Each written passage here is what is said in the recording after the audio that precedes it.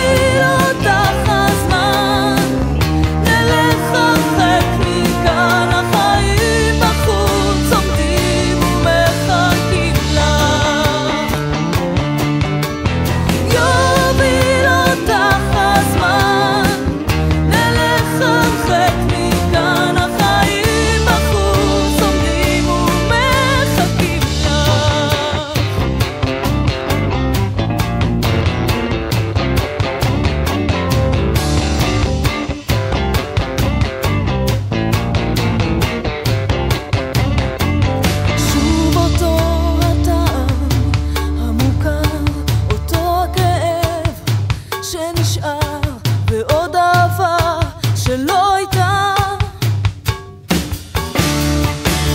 שוב אותה תמונה בשינוי